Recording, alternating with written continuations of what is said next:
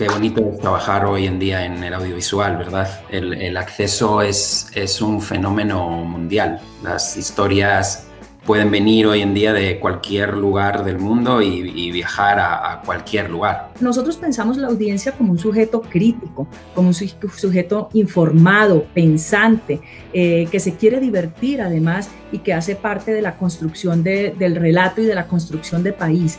Nuestra función como, como productoras creativas realmente es poner los temas sobre la mesa. Que a nivel de desarrollo todo está muy activo, a nivel de, escritura y de producción, pues todo el mundo trabajando para poder volver en las mejores condiciones, tratando de manejar toda la incertidumbre eh, pues de los clientes, de los tiempos, todo esto. La única certeza es que esto será por etapas no hay el contenido, la creación de contenido, la oferta del contenido, el tipo de género, el, espíritu de alma del contenido, será, digamos, por etapas y de acuerdo, por supuesto, con las necesidades de las pantallas. En, medio de todos estos libros y de campo ha sido la, oportunidad perfecta para escribir con, mi socia y bueno, ahí, ahí estamos con eso, trabajando muchísimo en, historias del alma y desde el ser humano.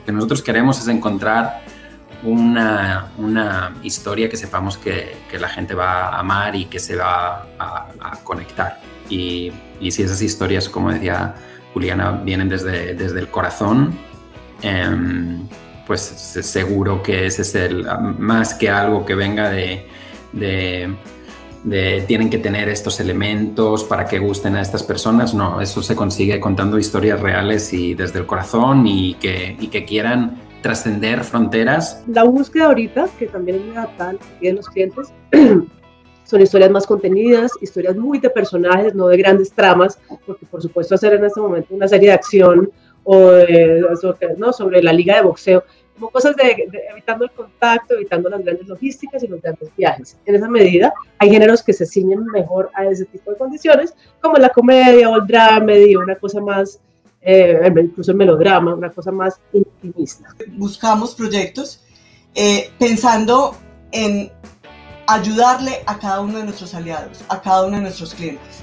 Entonces no es una bolsa de proyectos que voy y ofrezco en todas las esquinas, sino que eh, diseño, creo, convocamos equipos de escritores para ofrecerle a determinado canal, operador, como quiera que lo llamemos hoy, lo que está necesitando de acuerdo con su oferta. Y, sin duda vamos a continuar invirtiendo en, contenido en Colombia y apoyando la comunidad creativa. Vamos a seguir creando, como habla Juli, em, empleos para cruz locales y contando historias colombianas que viajen por el mundo.